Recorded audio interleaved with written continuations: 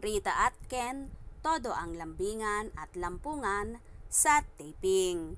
Kung kayo ay bago sa channel ko, maaaring mag-subscribe and hit my notification bell for more updates.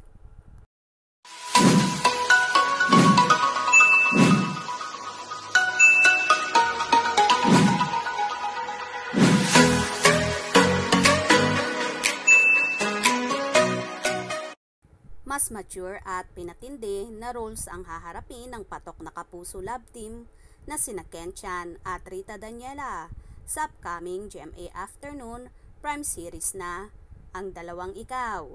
Gaganap sila bilang mag-asawa sa serye. Kwento ni Ken, merong mga pagkakataon na kami ni Rita na sinasabi namin, o ganito, yung gagawin.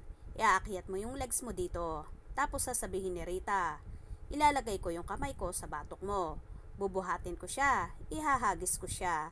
Sobrang nakakatuwa lang, very mature ang role namin dito and kailangan talaga naming ipakita sa mga eksena namin yung buhay mag-asawa.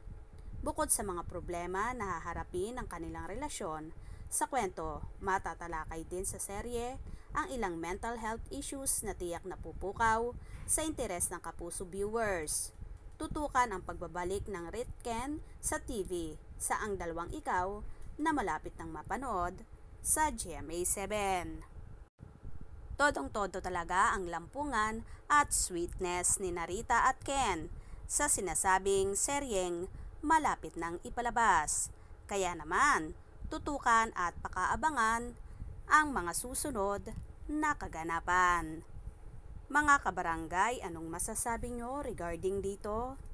Just comment down below para sa inyong saloobin at mga reaksyon. For more latest updates and chika balita, tumutok lang sa channel ko. This is Lady Boss Tiger Showbiz News. Naguulat. Bye-bye!